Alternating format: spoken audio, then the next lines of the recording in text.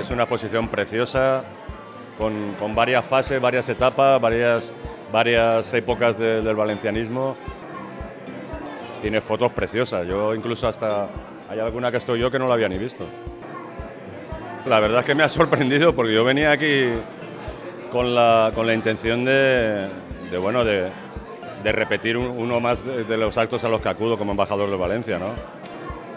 Lógicamente muy especial porque es mi pueblo. Yo siempre me he sentido orgulloso ¿no? de que dijeran que era nació en Catarroja.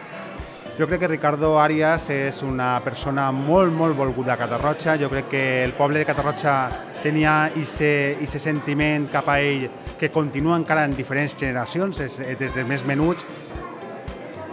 Hem volgut aprofitar, junt amb l'Ajuntament, que volíem fer-li un homenatge com a, diguem, fill destacat del poble, eh, per a donar-li un acte de constitució del nostre club, per a que Ricardo tinga un homenatge per tota la seva trajectòria, ja que és el jugador que més temporades ha jugat en el nostre València.